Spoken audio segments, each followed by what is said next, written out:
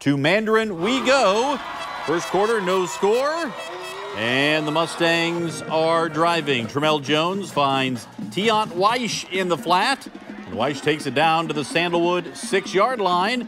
Sets up a first and goal for Mandarin. Next play, they want to give it to Weish around the right end. He is in for the score, a 98 yard drive for the Mustangs. Weish accounts for 65 yards on the drive. Mandarin up 7 0 after the first quarter. Second quarter, Mustangs up 10 0. Saints quarterback Baylor Hayes under pressure steps up and lets it fly down the middle of the field, but Antoine Belgrave Shorter is there for the interception.